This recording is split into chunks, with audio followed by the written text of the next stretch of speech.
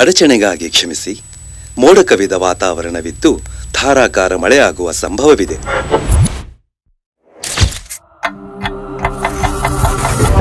ಈ ಕೇಸ್ನ ಮೊದಲನೇ ವಿಚಾರಣೆಯಿಂದ ಹಿಡಿದು ಇವತ್ತಿನ ತನಕ ಪ್ರತಿಯೊಂದು ರೆಕಾರ್ಡು ನನಗೆ ಬೇಕು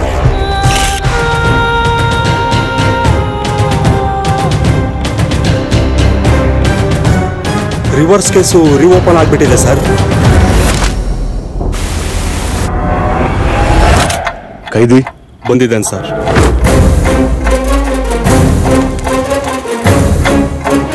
ಆ ಸ್ಪಾಟ್ಗೆ ಹೋಗೋದ್ರೊಳಗಡೆ ಒಂಬತ್ತು ಕೊಲೆ ನಡೆದೋಗಿತ್ತು ಸರ್. ಇವನೇ ಅಪರಾಧಿ ಅಂತ ನಿಮ್ಗೆ ಯಾಕೆ ಗೊತ್ತಾಯ್ತು? ಆತನ ಸುಪ್ತ ಮನಸ್ಸು ಅವನಿಗೆ ಗೊತ್ತಿಲ್ಲದ ಹಾಗೆ ಒಬ್ಬ ಕ್ರೂರ ವ್ಯಕ್ತಿನ ಸೃಷ್ಟಿ ಮಾಡಿ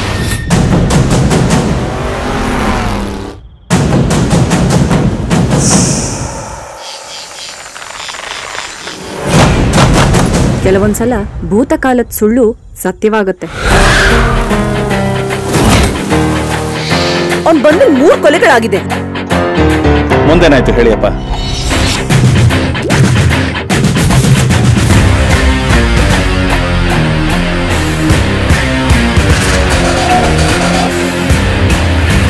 ಪ್ರತಿಯೊಂದಕ್ಕೂ ಒಂದೊಂದು ಕಾರಣ ಇರುತ್ತೆ. ಆ ಕಾರಣ ಯಾವುದು ಅಂತ? ನಮ್ಗೆ ಗೊತ್ತಿರಲ್ಲ. ಲೈಫಲ್ಲಿ ಘಟನೆ ಮತ್ತು ಸನ್ನಿವೇಶ ಕೋ ಇನ್ಸಿಡೆಂಟ್ಲಿ ಏಕಕಾಲದಲ್ಲಿ ಜರುಗಿದ್ರೆ ಕೆಲವೊಂದು ಅಡಚಣೆಗಳು ವಾಸ್ತವದ ಸತ್ಯಗಳಾಗ್ತವೆ